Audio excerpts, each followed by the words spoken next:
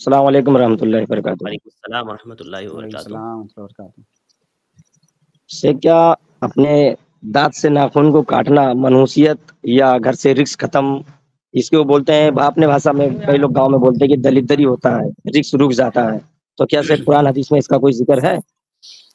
आ, नहीं कुरान हदीस में इसका कोई ज़िक्र नहीं है कि दांत से नाखून काटने से रिस्क रुक जाएगी या मनहूसियत है।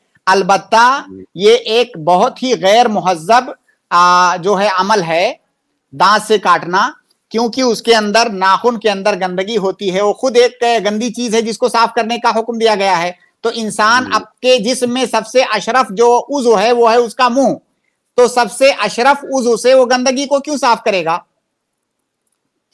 अलबत्ता कुरान हदीस में ऐसा कुछ नहीं है कि उसके ऐसा करने से रिस्क रुक जाएगी।